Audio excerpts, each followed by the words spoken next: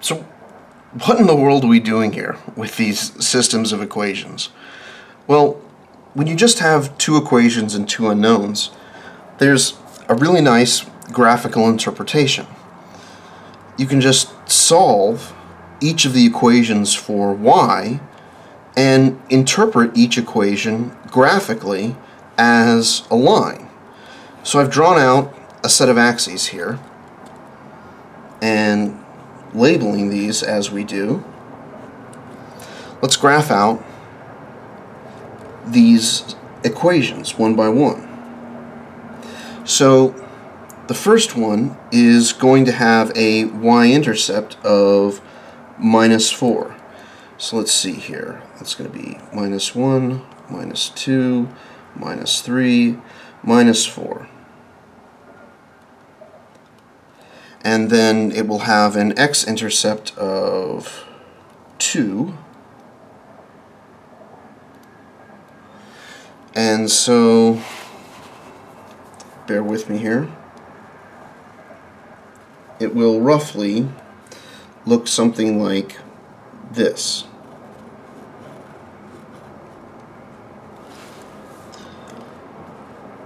There we go. Now, that's equation 1. It's that line. Equation 2 now, y-intercept is 4. If I'm good, I should be labeling these points. 2 comma 0 and this will be uh, 0 comma 4 being the y-intercept. And then I believe you'll find that the x-intercept is 6 so if this is 2 3 4 5 6 means this should intersect about here. So something like this, and I can already tell my drawing is crap, but we'll just deal with it. That's what you get taking a math class from a math person, not an art person. What's this intersection here? This intersection of these two lines? Well, you can work it out, and it should be though it isn't in this picture, it should be the point 3, 2. And if you check, that's going to be the solution to this systems of equation. That when x equals 3 and y equals 2, this system of equations will be true at this particular point. So solving these 2 by 2 systems, we end up finding the intersection of two lines. But it's not always the case that any two lines intersect. Normally, if you randomly pick two lines, yeah, they'll intersect. But on extremely rare occasions, you could get parallel lines.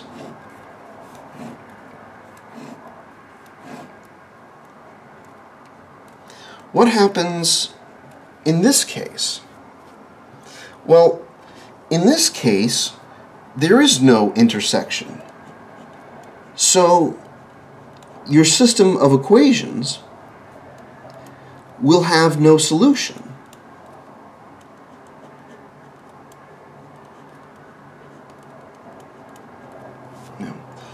You could see that in something like x plus y equals 1 and x plus y equals 2.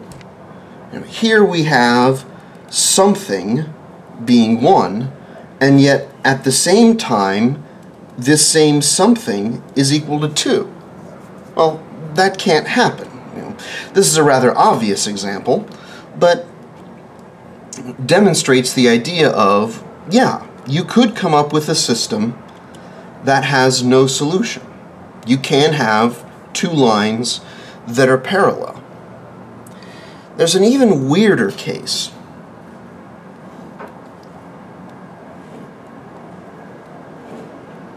Where the two lines lie right on top of each other.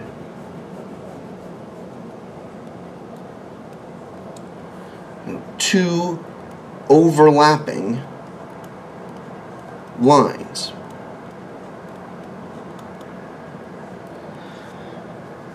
So, in this case, where do the two lines that sit on top of one another, where do they cross each other?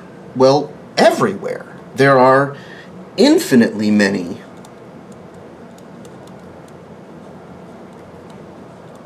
intersections. It's not quite right to say that they intersect everywhere because they don't intersect here or here. They will intersect everywhere on the line. But this gets us to the point of infinitely many intersections. So that means there are infinitely many solutions.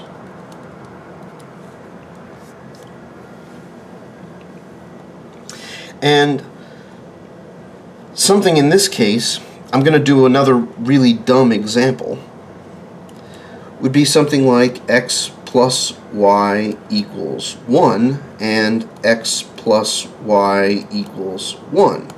You know, okay, you're telling me that x plus y equals 1. Now you tell me that x plus y equals 1. Well, yeah, no kidding. You, know, you already told me this. This is redundant information. Now, granted, it's not always presented to you in this format.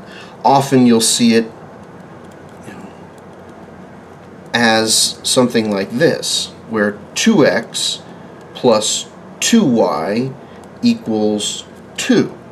Now it's, well gee, how'd you get that? Well, you just doubled the left-hand side and then doubled the right-hand side. That telling me one of these pieces of information, I can conclude the other. There's nothing new here. And so long as there's nothing funny going on, there's no squareds or x's and y's aren't multiplying each other, these are the only situations you can get into. You will either have one intersection point and therefore one and only one solution. You will have no intersection points and therefore no solution. Or you will have infinitely many intersection points and infinitely many solutions. If you add weird stuff in here like squareds and x times y's and you know other weird stuff like that, then you can have two solutions or three solutions or you know, weird stuff like that. But otherwise, if it's all nice and what we call linear, it's either 0, 1, or infinitely many. And the name we give these is that this system here we call independent.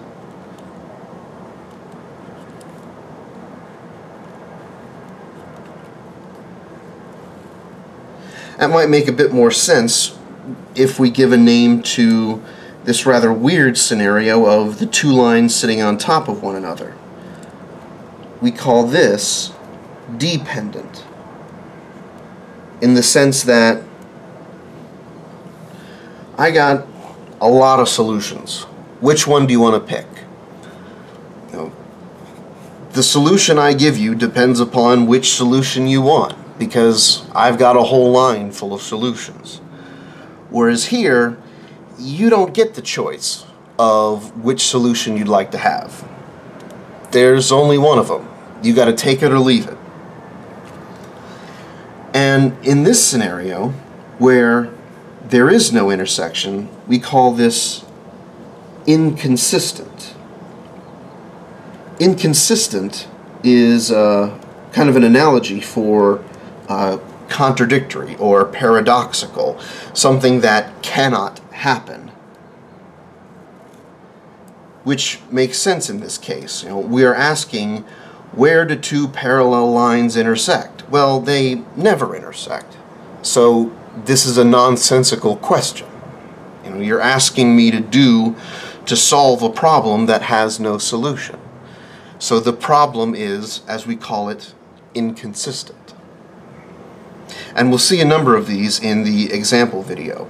I just wanted to detail out what these things actually were, what their names are, and you know, give you a few graphical and algebraic examples of these.